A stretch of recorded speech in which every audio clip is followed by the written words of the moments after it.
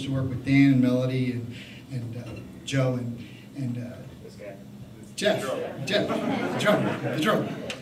Um, but uh, it's been a real joy to work with them all week and uh, what servants' hearts they've had, and uh, just really enjoyed uh, being together. And it's been fun listening to you guys as well. And uh, so, so uh, that, that it's always fun to be able to hear the congregation.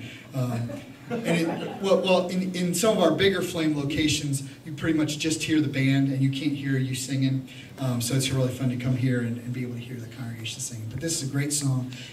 We got to go out and tell people because Jesus is coming back, and uh, we got we got to get the news out to them. So these are the days of Elijah, and we are declaring the word of the Lord.